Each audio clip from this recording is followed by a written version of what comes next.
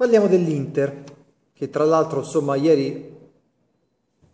Che cos'è? No, beh, ha vinto.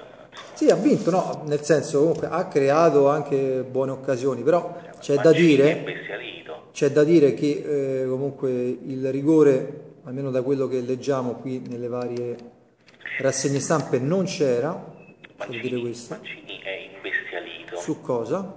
con i suoi giocatori. Per quale cagione? Perché ha Cagione che ha detto a 25 minuti alla fine abbiamo smesso di giocare, siamo stati presuntuosi, abbiamo fatto, abbiamo detto, questo no, non rischiare di pareggiare, non lo so. io. Sì, sì, effettivamente, anche perché poi l'Inter comunque ha trovato il, il gol con un tiro della domenica, insomma, di Podolski, bellissimo. Esatto, primo Eh, gol in Serie A. primo gol in Serie A.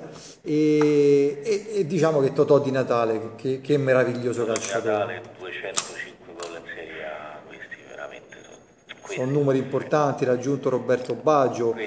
Io se fossi un presidente di una squadra che vuole puntare lo scudetto, io prenderei Di Natale, Luca Toni, un, un'ala che fa i cross perché servono comunque, un, un liberaccio di quelli di una volta che comunque fa il lancione davanti per Toni che spizza per Di Natale. un trequartista, E ha fatto, hai fatto, ha fatto. Che c'è? Cioè le squadre si fanno così, noi il finto 9.